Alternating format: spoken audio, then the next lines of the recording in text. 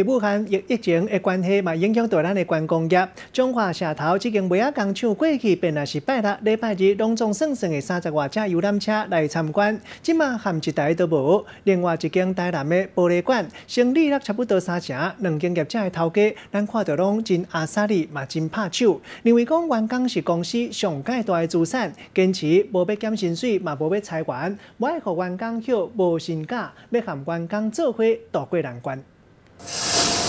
大片的玻璃经过机器切做同款的大小，刷落来包装出货。伫咧中华的玻璃制作大厂，员工伫咧假日嘛无通啊休困，受到武汉肺炎疫情的冲击，中国大陆变做重灾区，互坚持留伫咧台湾的玻璃工厂，伫咧今年头一季就接到日本连锁百货、甲国际连锁家具大厂各两百万美金的订单。加总起来的话，多了差不多三四成的订单。玻璃工厂的员工是无因甲要并过去，对比另外一边的玻璃观光。工厂会当讲是两种心情，就算休假日，也是有老爸老母带囡仔来佚佗，但整体的业绩也是大大来降低，下降差不多三成左右。业者价格经咧经，坚持员工就是公司上大的资产，所以无要裁员，无减薪嘛，袂来放无薪假，强调伫咧防疫期间会来做内部的改装，同时嘛安排员工去上课，加强服务的训练。啊，共款无要裁员的，有社头的尾啊工厂，六日一天就有将。近大概带三十几台的游览车，